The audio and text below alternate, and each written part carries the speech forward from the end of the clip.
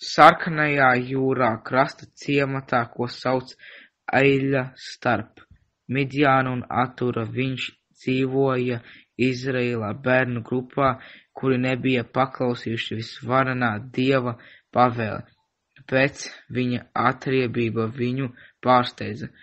Par viņu agresīvu un maldināšanu pārkāpumu paldies viņam.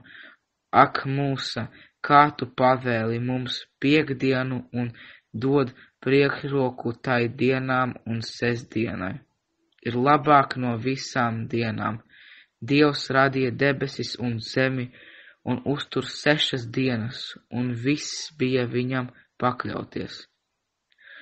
Un viss paklausīgi dzīvoja sestdienā, pēdējais bija seši, kad ebreji atteicās tikai ievērot Elsabet, visvarenais Dievs mūsa atklāja mies ar viņu atstājot viņus Elsabet un neko nedarot tajā tāpat, kā viņi padevās, un viņiem Elsabet bija aizliegts medīt un ēst vaļus no tā, kā Dievs visvarenais pārbaudīja šī ciema ļaudis un pārbaudīja tos sestdienās.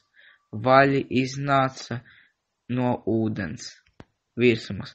Katra treknā vietā, kas spēlējas. Ja viņi gāja sestdienā, viņi gāja un izveidoja tam aukliņu piekrastē un sasēja līdz svētdienai.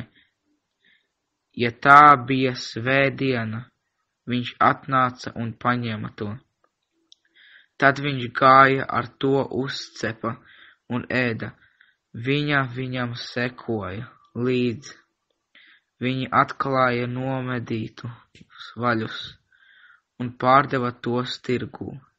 Tāpēc grupa no pārējām viņiem aizliedza to darīt.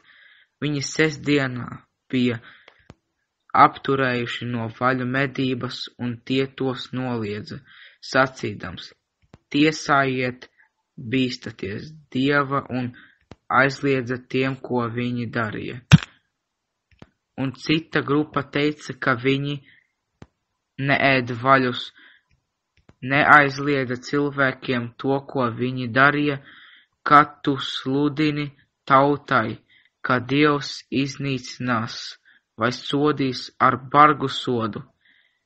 Tātad tie, kas aizliedza viņiem, atbildēja un teica, piedod viņiem, savam kungam, un varbūt viņi būs dievbijīgi varbūt viņi nožēlos grēkus un atgriezīsies pie taisnības.